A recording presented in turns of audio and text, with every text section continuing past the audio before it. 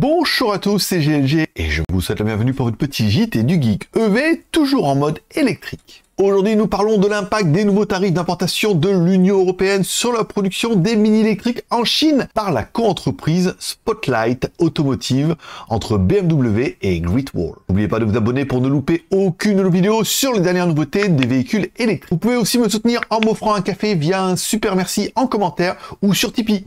JT du Geek EV, c'est une news par jour et une news supplémentaire pour chaque café offert. En 2018, BMW et Greatwell ont signé un accord pour produire des véhicules électriques mini en Chine.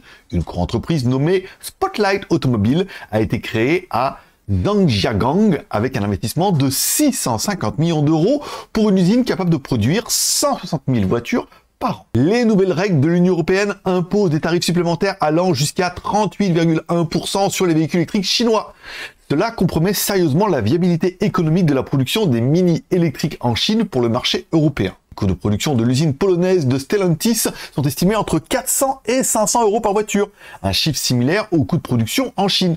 Cependant, la montée des tarifs rend la production en Chine moins viable pour l'exportation vers l'Europe et les États-Unis. Les ventes de la mini électrique produite en Chine sont maintenant en suspens. BMW prévoit de reprendre la production de mini électriques à l'usine d'Oxford en 2026. En attendant, les modèles produits en Chine seront principalement destinés au marché intérieur et à quelques marchés d'exportation moins exigeants. Et vous, qu'en pensez-vous? La fin de la production des mini électriques en Chine est-elle une bonne ou une mauvaise nouvelle pour vous? Laissez votre avis en commentaire. Merci de laisser un like ou un dislike, un commentaire et de vous abonner si ce n'est pas encore fait. Pour plus d'informations sur le véhicule électrique et l'innovation automobile, consultez nos vidéos JT Geek sur notre chaîne YouTube et retrouvez les articles complets sur notre site jtgeek.com.